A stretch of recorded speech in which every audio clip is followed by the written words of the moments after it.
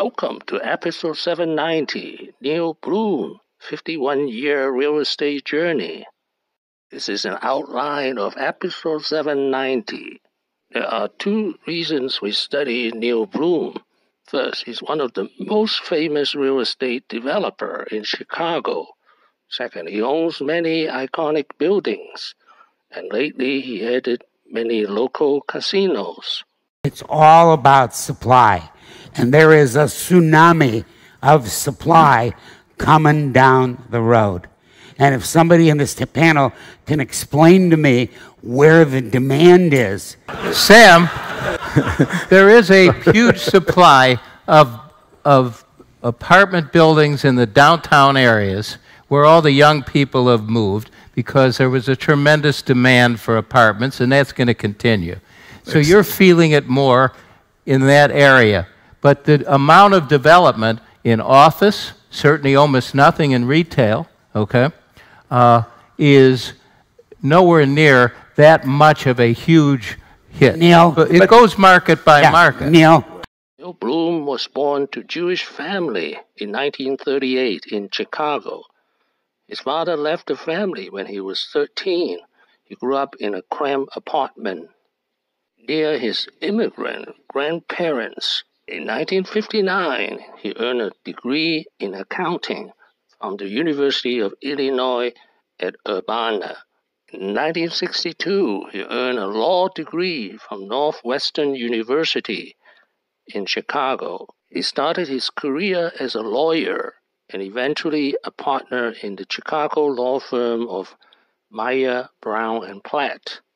In 1969, at the age of 31, he co founded JMB Realty. JMB's other partner is Judd Malkin on the left here. Malkin and Bluhm were college roommates at the University of Illinois. One of the first things they invested in were mobile homes. JMB Realty was a powerhouse in the 1980s, managed $26 billion in office buildings, shopping malls, apartments, hotels, so on. But it almost went bankrupt in the real estate crash in the early 1990s. In 1995, he co founded private equity firm Walton Street Capital. He was 56. Unlike JMB Realty, this time he would invest all over the United States, such as this beautiful harbor hotel in Tampa, Florida.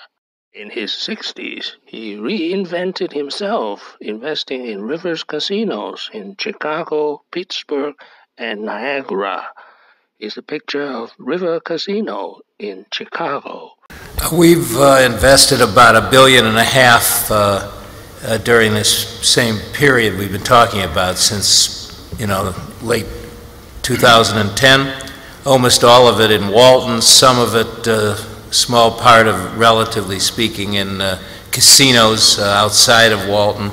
Um, And, um, you know, it's been a pretty good time to invest over the last uh, uh, year or two, and um, we'll see what happens going forward. In 2020, Neil Bluhm is now 82 years old with a net worth of $4 billion. dollars is still an active investor in real estate. Look, I, I don't think there's any question that that it's there's not there's not nearly as many buyers and sellers transacting right now. The number Brilliant. of You're right. transactions are down enormously. For the reason I said earlier, you got you've got a disconnect. But you also have a disconnect between the prices of the public REITs and the private market. most famous of which is the 900 North Michigan Avenue skyscraper. Let us go there. We are legacy. We are an iconic pulse set amongst bustling streets anyone's ambitions can take off, beyond the fashion, beyond our Michigan Avenue address. Thank you for watching. Please subscribe and leave your questions and comments below. My next video will be Neil Bluhm 8 Lessons. Wishing everyone peace and prosperity.